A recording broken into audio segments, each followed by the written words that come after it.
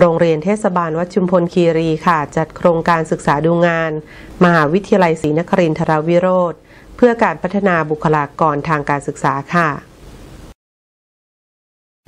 นายเจริญโกศยาพร รองผู้อำนวยการสถานศึกษา รักษาราชการแทนผู้อำนวยการสถานศึกษา โรงเรียนเทศบาลวัดชุมพลคีรีนำบุคลากรทางการศึกษาจำนวน 52 คน เดินทางไปศึกษาดูงานที่มหาวิทยาลัยศรีนครินทรวิโรธการจัดการศึกษาของสถานศึกษาให้มีคุณภาพนั้นจำเป็นอย่างยิ่ง ที่จะต้องมีการพัฒนาบุคลากร เพื่อนำไปสู่การปรับเปลี่ยนแนวคิดในการปฏิบัติงาน เพื่อพัฒนากระบวนการจัดการเรียนรู้ ตามแนวปฏิรูปการศึกษา การที่ที่บุคลากรได้มีโอกาสศึกษาดูงาน ด้านการจัดการศึกษาของหน่วยงาน หรือสถานศึกษาอื่น ๆ ที่สามารถจัดการศึกษาได้อย่างมีคุณภาพ ทั้งระบบทั้งด้านเทคโนโลยี หรือนวัตกรรมต่าง ๆ นั้น เป็นอีกวิธีการหนึ่งที่สามารถส่งเสริมให้บุคลากรของโรงเรียน มีทักษะ แนวคิด แนวทาง รูปแบบหรือวิธีการใด ๆ มาปรับเปลี่ยนหรือประยุกต์ใช้ ในการพัฒนาตนเอง พัฒนาสถานศึกษา และที่สำคัญพัฒนาผู้เรียนให้มีคุณภาพพเต็มตามศักยภาพ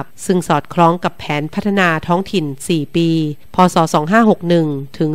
2564 ของเทศบาลนครแม่สอด ในด้านการพัฒนาทรัพยากรมนุษย์ ในด้านการศึกษา และส่งเสริมศิลปะวัฒนธรรม จารีตประเพณี ภูมิปัญญาท้องถิ่น และการพัฒนาคุณภาพการจัดการศึกษาของสถานศึกษา ในการพัฒนาคุณภาพการจัดการศึกษา และของสถานศึกษาในการพัฒนาผู้บริหาร ครู และบุคลากรให้มีความรู้ ความสามารถตามเกณฑ์มาตรฐานวิชาชีพ พร้อมส่งเสริมและพัฒนาผู้บริหาร ครู เพื่อเพิ่มประสิทธิภาพ และประสิทธิผลทางการศึกษาต่อไป